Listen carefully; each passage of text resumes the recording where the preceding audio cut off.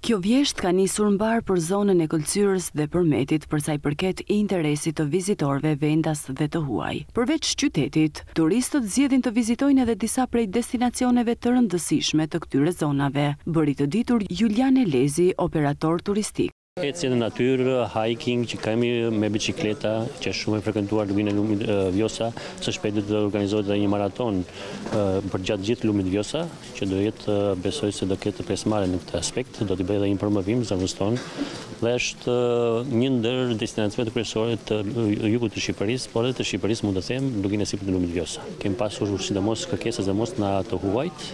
Ata janë më shumë të interesuar për punën e hiking dhe edhe mountain bike, se kemi edhe për biçikleta, por sigurisht edhe për turistat vendas kanë filluar të organizohen nëpër grupe. Pavarësisht që terreni nuk është i thepisur, sërish nevojitet të bëhet udhëtimi nën udhëheqjen e guidave turistike ose shoqërim në grup. Është terren jo shumë i thepisur, por sigurisht është e nevojshme të ketë edhe një guidë të shoqëruar, pavarësisht se ato janë me GPS-e, nëpër harta dhe mund t'i organizosh edhe vetë personalisht, mund të jenë, po gjithmonë nëpër grupe, jo individual. Në Këlcyrë dhe Përmet, vizitorët kanë mundësi të pafundme të eksplorojnë dhe të shijojnë bukuritë e pafundme të natyrës. të njihen me historinë dhe kulturën vendase e njëkohësisht të shijojnë edhe kulinarinë e pasur dhe mjaft të veçantë.